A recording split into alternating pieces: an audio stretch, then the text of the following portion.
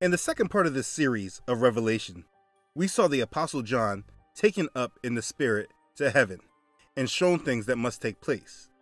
We saw the heavenly throne that Elohim sat on. We saw the 24 elders and the four living creatures. We then saw in the hand of Yahweh a scroll that no one was worthy to open and loose its seals. But then we see the Lamb, who is Yahshua, come and take the scroll and open its seals.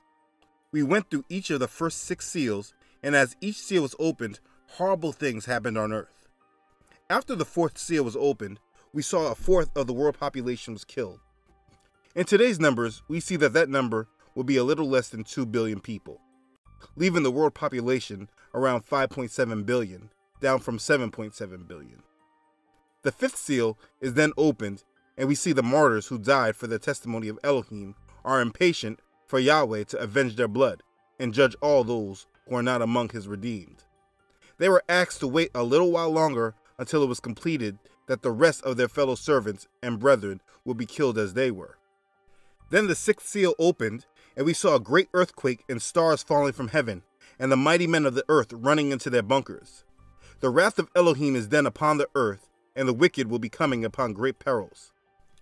This is not like what people experienced during the days of Noah.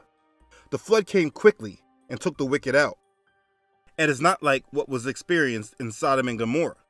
They were taken out all at once in one night. This is like nothing the earth has ever experienced. And as we continue into the next chapters, things will get worse. We still have one more seal to open. Much more follows from here. So let's dig into it again and gain more understanding. Let's begin. Revelation chapter 7. After these things, I saw four angels standing at the four corners of the earth, holding the four winds of the earth, that the wind should not blow on the earth, on the sea, or on any tree. Then I saw another angel ascending from the east, having the seal of the living Elohim. And he cried with a loud voice to the four angels to whom it was granted to harm the earth and the sea, saying, Do not harm the earth, the sea, or the trees, till we have sealed the servants of our Elohim on their foreheads. And I heard the number of those who were sealed 144,000 of all the tribes of the children of Israel were sealed. Of the tribe of Judah, 12,000 were sealed. Of the tribe of Reuben, 12,000 were sealed. Of the tribe of Gad, 12,000 were sealed. Of the tribe of Asher, 12,000 were sealed. Of the tribe of Naphtali, 12,000 were sealed. Of the tribe of Manasseh, 12,000 were sealed. Of the tribe of Simeon, 12,000 were sealed. Of the tribe of Levi, 12,000 were sealed. Of the tribe of Issachar, 12,000 were sealed. Of the tribe of Zebulun, 12,000 were sealed. Of the tribe of Joseph, 12,000 were sealed. Of the tribe of Benjamin, 12,000 were sealed. After these things I looked, and behold, a great multitude which no one could number, of all nations, tribes, people, and tongues, standing before the throne and before the Lamb clothed with white robes, with palm branches in their hands, and crying out with a loud voice, saying, Salvation belongs to our Elohim, who sits on the throne, and to the Lamb.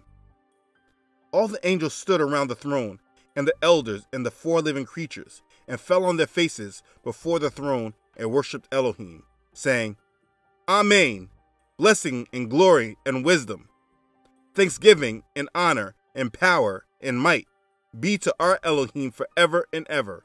Amen. Then one of the elders answered, saying to me, Who are these arrayed in white robes, and where did they come from? And I said to him, Sir, you know.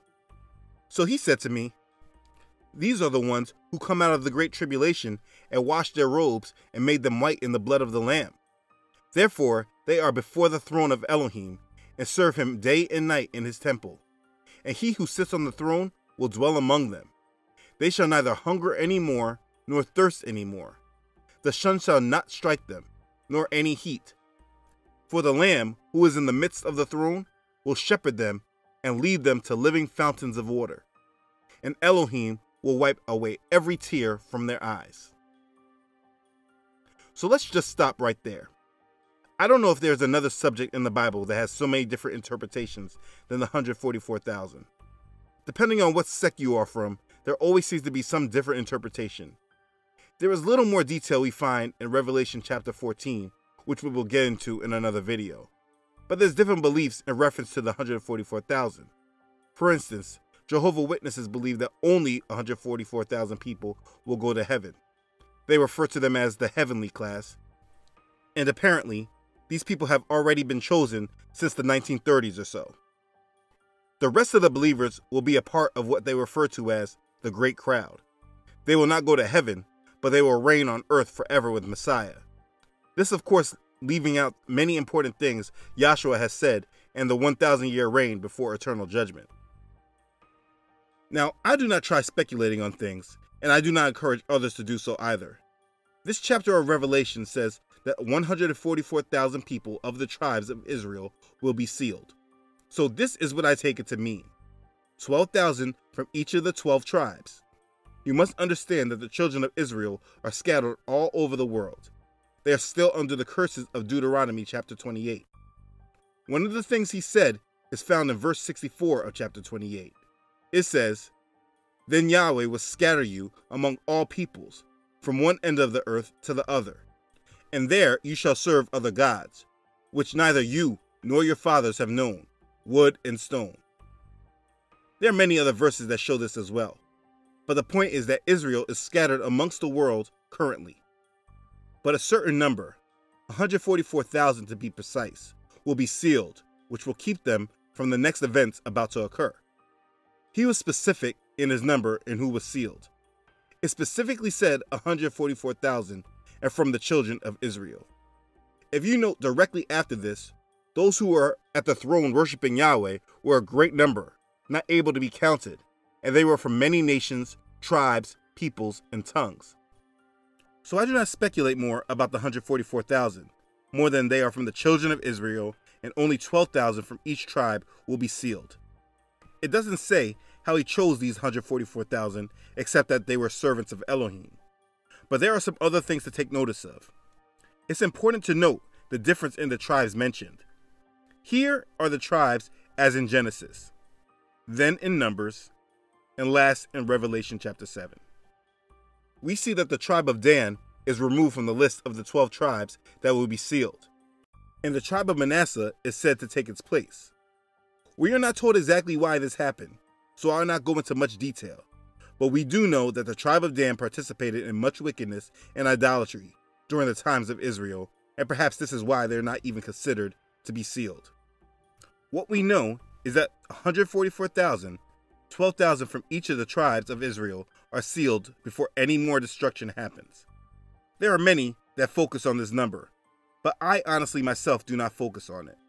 Don't get me wrong, it's a great honor to be one of the 144,000 sealed, but those are too big of odds for me to focus on. My recommendation would be to not focus on the 144,000 and focus on being Yahshua's bride, his church. Focus on being redeemed by his blood. There's not enough information on the 144,000 to place an emphasis of focus around. Yahshua told us to be his bride. He is our bridegroom. He did not tell us to focus on being of the 144,000. So whoever Elohim chooses to be sealed, they are truly blessed. But if you're counted amongst his church, you are also truly blessed as well. So please make that your purpose. Be his church. Okay, let's continue. Revelation chapter 8. When he opened the seventh seal, there was silence in heaven for about half an hour. And I saw the seven angels who stand before Elohim, and to them were given seven trumpets. Then another angel, having a golden censer, came and stood at the altar. He was given much incense, that he should offer it with the prayers of all the saints upon the golden altar, which was before the throne. And the smoke of the incense, with the prayers of the saints, ascended before Elohim from the angel's hand. Then the angel took the censer, filled it with fire from the altar, and threw it to the earth. And there were noises, thunderings, lightnings, and an earthquake. So the seven angels who had the seven trumpets prepared themselves to sound. The first angel sounded, and hail and fire followed. mingled with blood, and they were thrown to the earth. And a third of the trees were burned up, and all green grass was burned up. Then the second angel sounded, and something like a great mountain burning with fire was thrown into the sea. And a third of the sea became blood. And a third of the living creatures in the sea died, and a third of the ships were destroyed. Then the third angel sounded, and a great star fell from heaven, burning like a torch. And it fell on a third of the rivers and on the springs of water. The name of the star is Wormwood. A third of the waters became wormwood, and many men died from the water, because it was made bitter. Then the fourth angel sounded, and a third of the sun was struck, a third of the moon, and a third of the stars, so that a third of them were darkened. A third of the day did not shine, and likewise the night. And I looked, and I heard an angel flying through the midst of heaven, saying with a loud voice, Woe, woe, woe to the inhabitants of the earth, because of the remaining blast of the trumpet of the three angels who are about to sound. Wow. What more can you say about these events? You just don't want to be here for them. Again, according to Revelation chapter 3 verse 10, this is the hour of trial which shall come upon the whole world to test those who dwell on the earth. But let's go over some details. The seventh and final seal of the scroll is opened, which finally allows for the scroll to be unrolled. Now that the scroll is unrolled, there was silence in heaven, and then we see the seven angels who were given seven trumpets. Just like we saw in the sequence of the opening of the first four seals in part 2, the first four trumpets sounded rapid succession one after another. The trumpet judgments are worse than the opening of the seals. A third of all trees and grass were burnt. A third of the sea became blood. A great mountain burning sounds an awful lot like a volcano erupting. A third of the living creatures in the sea die, and a third of the ships were destroyed. It's horrible. Basically, food is destroyed, the water supply is severely limited, and distribution of goods is crippled. The world is barely able to run smooth in our current way today. What's being described seems unimaginable. In the third trumpet, the name of the plague is called wormwood, and because of it, many men will die. And then a third of the sun, moon, and stars wouldn't shine. I don't even know what that would be like, except it sounds like darkness on a third of the earth and it doesn't ease up after this. After these first four trumpets, an angel then says, Woe, woe, woe to the inhabitants of the earth, because of the remaining blast of the trumpet of the three angels who are about to sound. So there's even more about to happen. Let's review it. Revelation chapter 9. Then the fifth angel sounded, and I saw a star fallen from heaven to the earth. To him was given the key to the bottomless pit. And he opened the bottomless pit, and smoke arose out of the pit like the smoke of a great furnace. So the sun and the air were darkened because of the smoke of the pit. Then out of the smoke locusts came upon the earth, and to them was given power, as the scorpions of the earth have power. They were commanded not to harm the grass of the earth, or any green thing, or any tree, but only those men who do not have the seal of Yahweh on their foreheads and they were not given authority to kill them, but to torment them for five months. Their torment was like the torment of a scorpion when it strikes a man. In those days, men will seek death and will not find it. They will desire to die, and death will flee from them. The shape of the locusts was like horses prepared for battle. On their heads were crowns of something like gold, and their faces were like the faces of men. They had hair like women's hair. In their teeth were like lions' teeth, and they had breastplates like breastplates of iron. And the sound of their wings was like the sound of chariots with many horses running into battle.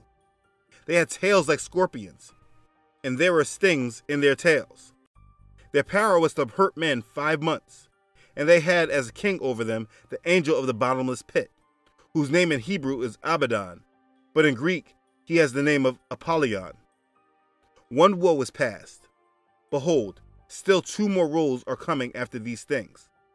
Then the sixth angel sounded, and I heard a voice from the four horns of the golden altar which is before Elohim, saying to the sixth angel who had the trumpet, Release the four angels who are bound at the great river Euphrates. So the four angels who had been prepared for the hour and day and month and year were released to kill a third of mankind. Now the number of the army of the horsemen was 200 million. I heard the number of them. And thus I saw the horses in the vision. Those who sat on them had breastplates of fiery red, hyacinth blue, and sulfur yellow. And the heads of the horses were like the heads of lions, and out of their mouths came fire, smoke, and brimstone. By these three plagues, a third of mankind was killed, by the fire and the smoke and the brimstone which came out of their mouths. For their power is in their mouth and in their tails, for their tails are like serpents, having heads, and with them they do harm. But the rest of mankind, who were not killed by these plagues, did not repent of the works of their hands, that they should not worship demons, and idols of gold, silver, brass, stone, and wood, which can neither see, nor hear, nor walk. And they did not repent of their murders, or their sorceries, or their sexual immorality, or their thefts. So, yeah, it got worse. The fifth trumpet was blown, and from the bottomless pit, locusts came upon the earth. Now, this is why the 144,000 are blessed, because they were the only ones who the locusts were not allowed to attack. This is another reason why it is believed that the church will not go through the Great Tribulation, because Yahweh will not torment his own people. The torment is for those who are not his people. So it is believed that the church is not around for these trumpets. Yes, I believe this, but obviously I do not know for sure, so I won't state it as a fact. If you are a believer in Yahshua, please do not fear any of this. Those that reject him, or are too stubborn to reject the ways of the world for him, should definitely fear. But the locusts were given authority to torment men for five months. Men would want to kill themselves, but would not be able to. Literally, the whole world will be tormented for almost half the year. That was the first woe that was spoken of by the angel. There are two remaining woes, which are the sixth and seventh trumpet. The sixth angel sounded the sixth trumpet, and that released the four angels who are bound at the great river Euphrates. This is the second woe. These angels were held to be released at the exact hour, day, month, and year, which tells us again that Elohim is in control of all of this. This is all his schedule and his timing. Every day we have to get our lives right is an absolute gift. These four angels had an army of 200 million, and they went to kill a third of mankind. Again, if we were still at the 5.7 billion from the first four seals opened, a third of mankind would be another 1.8 billion, which would bring the world population down to less than 4 billion. In a short period of time, the world would have lost almost half of its population. We are just talking about massive death and destruction. So many horrible things occurring, but the worst part is that those who are tormented did not repent. Again, this is how we know that either the church is not here for this or they are among the ones who are sealed, because his people will be repenting and crying out to the Father after all this happened. These people that go through this will be under strong delusion. Though this is all in control by Elohim, Satan has his spin for the world as well. This is why he controls the media, to control the narrative of events in the world that we understand. To a dire warning about climate change. According to a new report, experts say that we have until 2030 to avoid catastrophe. It also says if unprecedented changes are not made and made soon, there will be irreversible damage to the planet. What I'm trying to say is that the devil is preparing for this too, and is mass conditioning the majority for it as well we still have one more trumpet judgment left. I mean, this is absolutely a horrible time period. I struggled with making this episode because this portion of the scriptures can be very scary and hard to take. For me, my faith gives me great comfort because I know that this wrath is not directed at me, but directed at the wicked who still to this day continue to deny him. Maybe it was harder in the past to believe this, but today, I wish that it was hard to believe that after all these judgments, these bad things that happen, that people still wouldn't recognize the error in their ways and begin to repent. But that just seems to be the state of man today. And it seems that all these events have already been placed in the minds of us all so that no one looks at this being the wrath of Elohim, but just bad, uncontrollable circumstances. Judgment is upon us, and the only thing we can do is have faith in Yahshua, the Messiah. We must follow his ways and commands. We must be led by the Holy Spirit. We must love one another as he has loved us. We must make Yahweh the priority and eliminate idols that seek to separate us from Him. It is time now that we sincerely repent from our wickedness and wake up from the strong delusion that keeps many people blinded. If you're watching this video, it was made for you. It was made for you to have an understanding of what Elohim has communicated about the days before his judgment. Nothing the world today has to offer is worth going through any of this. Make the right decision today, before tomorrow comes and it's too late for you. It's not too late for you today. So if the devil whispers that in your ear, rebuke it. It's not true. If you're watching this, it's because the Father wants you to. So please listen to whatever he is saying to you. Repent and believe in Yahshua HaMashiach, the Messiah who was sent to take the punishment of our sins. He is awesome and wonderful and worthy of our praise. So give it all to him, along with every other part of you. The time is now. Okay, thanks again for watching. If this has blessed you, please do not forget to like it and share it with others. If you have not already done so, please do not forget to subscribe to this channel. I upload every Friday. Don't forget to follow this ministry on Facebook and Instagram. As always, I'd like to thank all of you who support this ministry. Your contributions truly bless me. I'm truly thankful for your support. Thank you for listening to Yahweh's call on your heart. Okay, thanks again, everyone, for watching. I love you all.